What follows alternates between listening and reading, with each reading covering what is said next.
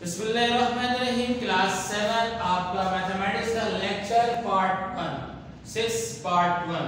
Part one के अंदर हम रेडियस की मदद से सर्कमफेरेंस मालूम करेंगे और सिक्स का पार्ट टू के अंदर हम डायमीटर की मदद से सर्कमफेरेंस मालूम करेंगे। चैप्टर 15 है एक्सरसाइज 15.1 पेज नंबर 186 रहेंगे। क्वेश्चन नंबर आपका एमसीक्यू से फिल इन द ब्लैंक से उसको सॉल्व कर लें तो क्लास आएगी वहाँ उसको समझा के सॉल्व किया जा सकता है। टू के अंदर वन में पढ़ा होगा, टू और थ्री आप बनाएँगे। और थ्री क्वेश्चन के बाद वन में और टू और थ्री यानी एक में बनाऊँगा, दो आप बनाएँगे। बहुत आसान है दो दो स्टेप का सवाल है। है कह रहे हैं रेडियस दे दिया 56 सेंटीमीटर दे दिया है, और कह रहे हैं कि आप इसका फाइंड द सर्कमफेरेंस मालूम करें। आपको बताना है, क्या है? सॉल्यूशन लिखना है। हियर हमारे पास रेडियस है 56 सेंटीमीटर सर्कमफेरेंस मालूम करना है। Therefore फॉर्मूला होता है सर्कमफेरेंस बराबर है 2 पाई r. पाई आप जानते हैं, इसकी वैल्यू फिक्स होती है।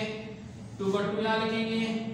पाई होता है 22 और 7 और रेडियस हमारे पास क्या है? 56 अब करेंगे क्या क्या इसको इसको इसको मल्टीप्लाई करेंगे और इसके बाद 7 से क्या कर देंगे डिवाइड कर देंगे। यानी आप चाहे तो c बराबर है।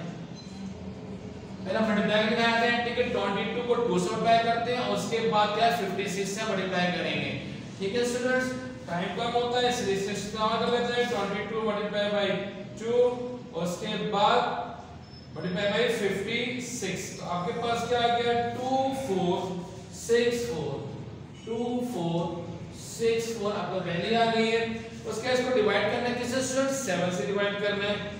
तो 7 क्या आ गया तो 352 352 आपका सेंटीमीटर आ गया, ये आपका सरकमफेरेंस का हो गया, मालूम हो गया।